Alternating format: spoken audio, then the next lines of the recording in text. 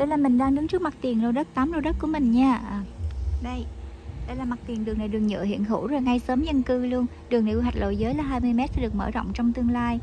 À, bên tay trái của mình ngay chỗ xe mình đậu ở đây bên tay trái á, ra khoảng tầm chừng vài trăm mét thôi hơn à, 200 mét thì thôi là sẽ là đường DT 783 con trục đường chính rất là lớn.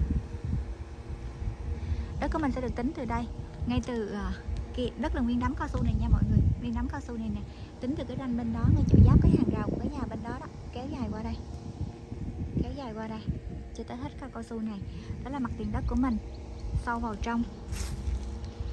Ở cuối đất sẽ là có một căn nhà, tại vì bọc đường theo cuối đất sẽ, cuối đất sẽ có căn nhà trắng trắng trong đó đó ha.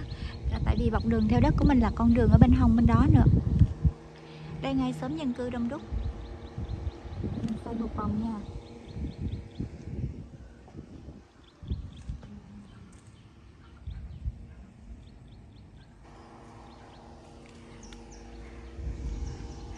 đất đẹp. Từ đây mà đi ra ngoài mọi tiện ích mình cần chỉ khoảng tầm 2 km thôi là có đầy đủ hết, không thiếu bất cứ dịch vụ gì.